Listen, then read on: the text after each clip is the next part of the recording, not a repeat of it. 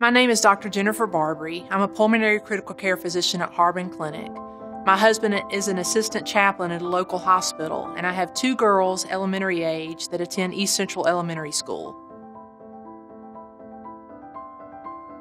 I understand your concerns that the vaccine may be new. In fact, I had similar questions when I was contemplating receiving it myself. I did the research and discovered that this technology has actually been studied for a number of years. As early as 1980s, they started looking into messenger RNA technology.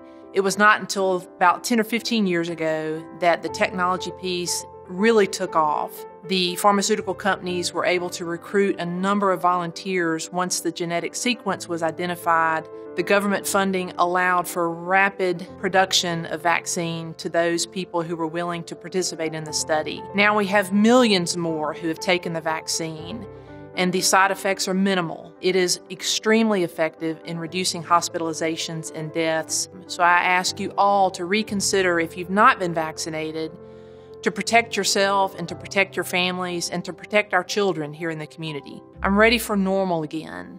I'm ready for my children to feel safe in their activities and at school amongst their friends. If you have any questions about the vaccine and whether or not it would be appropriate for you, I would encourage you to reach out to your doctors. Reach out to any of us. We'd be happy to answer your questions, and please consider vaccination.